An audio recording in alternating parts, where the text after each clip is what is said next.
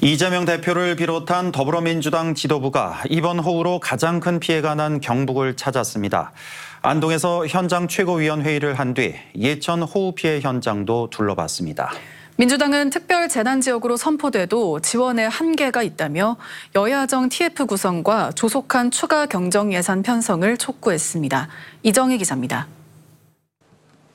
안동 더불어민주당 경북도당에서 열린 민주당 현장 최고위원회는 이번 호우 희생자의 명복을 비는 묵념으로 시작했습니다. 이재명 대표는 지금보다 훨씬 높은 수준의 방제 대책이 필요하다며 추경 예산 편성을 거듭 강조했습니다.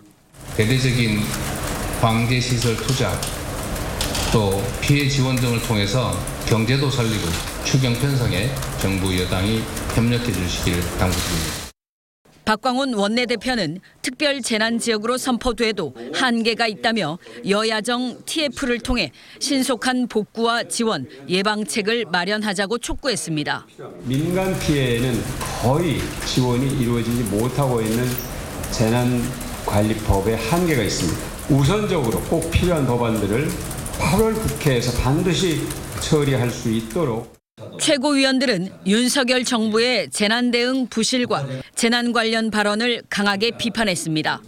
외국 순방 중에도 수시로 보고받고 회의를 했다는 사람이 산사태 현장에 와서 주택 뒤에 있는 산들이 민가를 좀 덮친 모양이라 새는 바가지는 어쩔 수 없습니까? 산사태 취약지구 관리 시스템에 문제가 있다는 지적도 나왔습니다. 산사태 취약 지구라고 약 5천여 개를 지정했지만 우리 경북에는 한 곳밖에 지정이 안 되었습니다. 그런데 아홉 군데가 더 산사태가 일어났습니다. 지도부는 이어 가장 많은 사상자가 발생한 예천 피해 현장을 찾았습니다. 성남에서 귀농했다 아내를 잃은 유가족은 이재명 대표에게 안타까움을 토로했습니다. 나만 또 개고 빠져나가지고 옷 살아서 어제 장에 치우고 시장 비었는데요. 경기 50단 사람 데려갔다가 막 너무 아프시네. 이 대표는 참사 현장을 2시간 가까이 둘러본 뒤 신속한 복구와 충분한 지원, 제도 정비를 약속했습니다. 민주당 최고위가 경북에서 열린 건 처음입니다. MBC 뉴스 이정희입니다.